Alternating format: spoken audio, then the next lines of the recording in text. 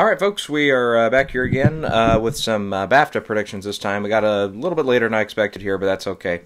Uh, let's see, we'll just kind of get started here and kind of throw out some stuff because I think some of the categories for BAFTA this year are a little tough, kind of like the Oscars right now. A couple other ones are I think are uh, are going to be some easy picks this year. So um, I don't know. We'll we'll see how it goes down here, but uh, yeah, we'll start from the bottom up with the Rising Star Award, voted on by the public here. And after the uh, Oscar snub, I think uh, Awkwafina is is pretty set to uh, to take this one here. I I, I probably uh, would say she's yeah probably pretty far and ahead the one to win this one.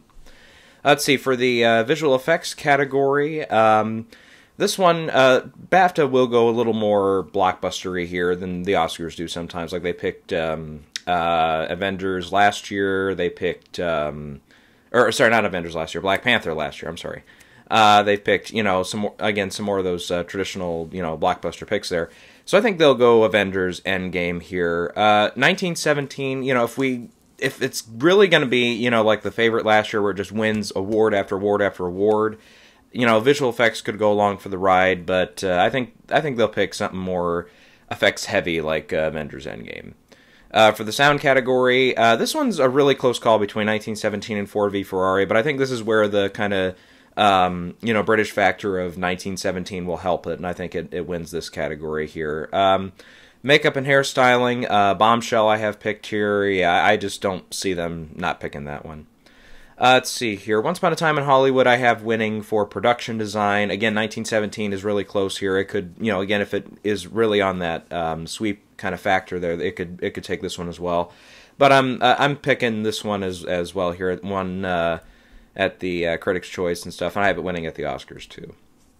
Uh, let's see. For costume design, I'm actually picking uh, Jojo Rabbit here. Um, again, this will be pretty much a three way race between JoJo, Once Upon a Time in Hollywood, and Little Women.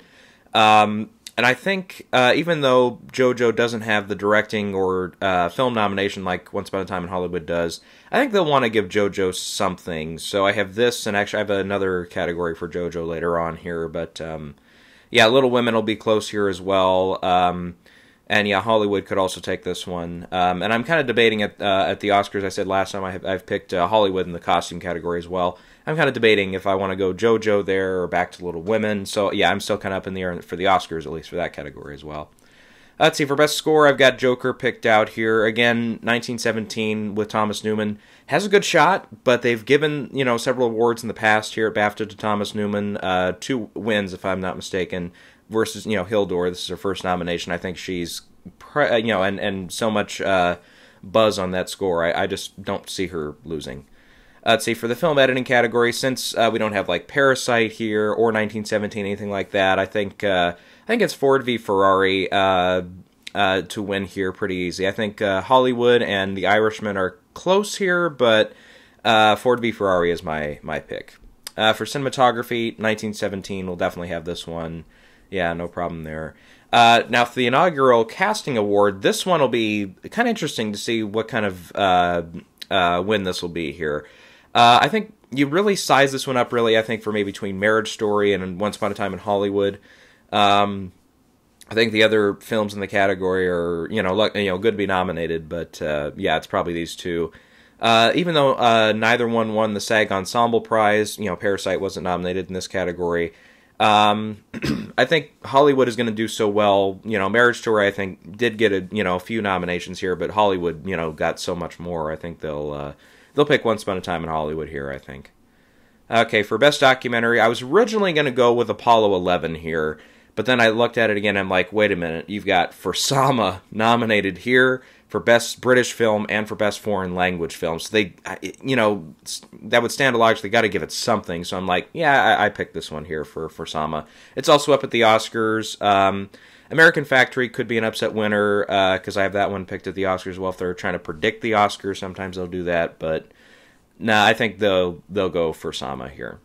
Foreign language film, Parasite. Yep, moving on. Uh, animated feature. Uh, Toy Story 4, I think, and Klaus are the two that can win here. Uh, the other two, I think, again, happy to be nominated, but I don't, I don't think they stand much of a chance.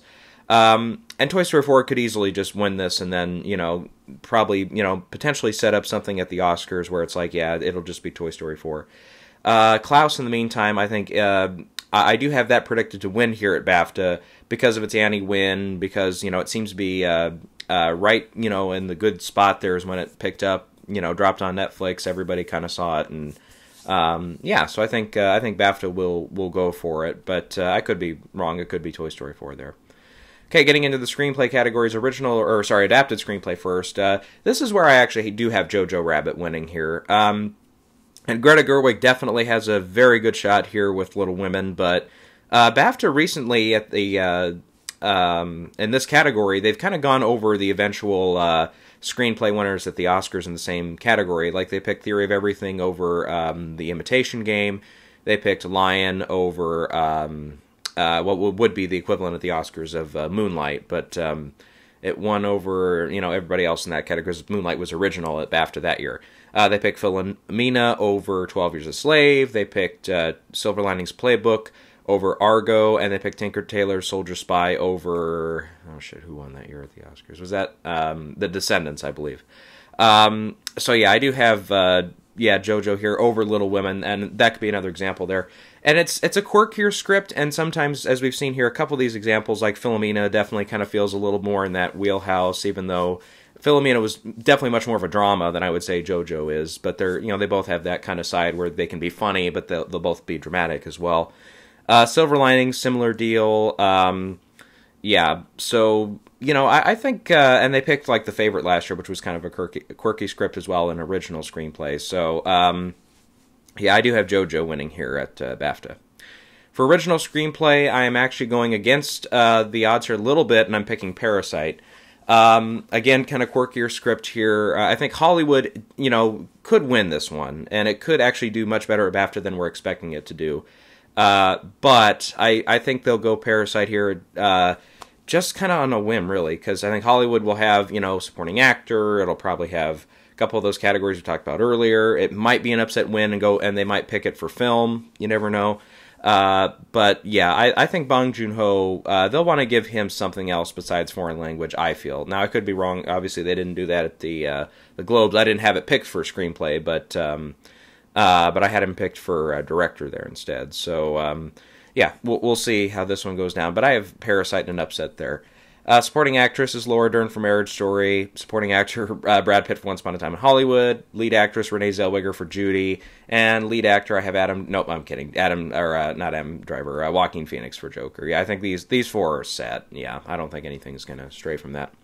Uh, for director, I've got Sam Mendes here as well. Remember, uh, he does have, as we talked about a couple times here, an IOU from BAFTA for not getting a directing win for American Beauty. Uh, since then, I believe he has not been nominated at the BAFTAs in this category. So, um, so yeah, this would be a good chance to uh, award him here. Plus, you know, uh, Bong Joon Ho again uh, is a close competitor here, but I think you know a Parasite, you know, didn't really get any, you know, after it landed, you know, director, film, and you know that stuff. It didn't really, it didn't have any tech category support, like no editing, cinematography, even production design. You know, like it got at the Oscars. So, um, I think yeah, something like a screenplay is more possible, but director, I would say no. This is probably Sam Mendes, you know, uh, high and above. I would say in this category.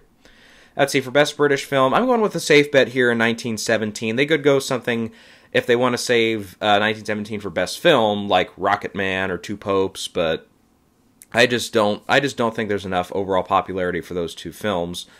Um, you know, and Three Billboards, of course, you know, won this category and Best Film a couple of years ago, so they don't really have a, a problem with that. So I do have also 1917 winning for Best Film, but again, this is going to be a close one because Parasite maybe does have a, a, a, shot here at film. They did pick Roma last year, so it's not unprecedented for them to pick uh, foreign language films to win. They've gone with 400 Blows in the past and stuff like that, so it's not totally, you know, uh, random if it does win here.